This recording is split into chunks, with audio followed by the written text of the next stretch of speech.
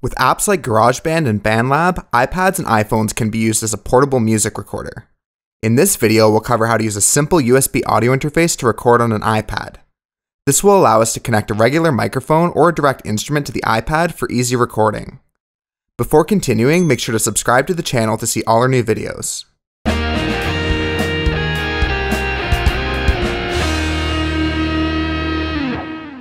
Let's start with what we'll need for this setup. First, I'm using a basic USB audio interface. This is a Behringer UM2 interface with a single microphone and instrument input. Most USB audio interfaces will work fine for this. This USB interface is powered by the iPad and lightning charger. There's also larger audio interfaces that can be powered with their own power plug, and those should work fine as well, but it's not really that necessary to have that many inputs when just recording on an iPad. To connect it, we need the Apple camera adapter.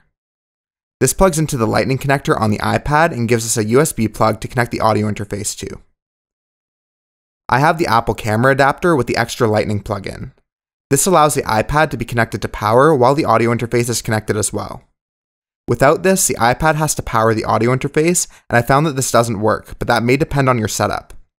Having the iPad plugged into power seems to solve this issue.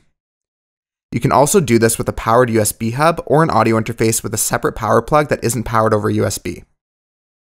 On the iPad, we'll be using GarageBand as our app to record audio in.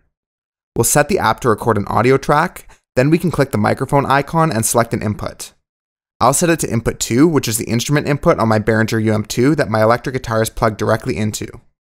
Now we can also turn on the input monitoring so we can hear it back. The audio from this will go back through the headphone output on our audio interface, so we need to plug into that instead of the iPad itself.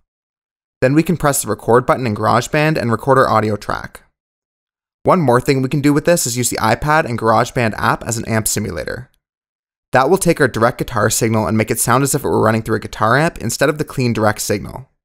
We can use this as a way to practice guitar with the iPad.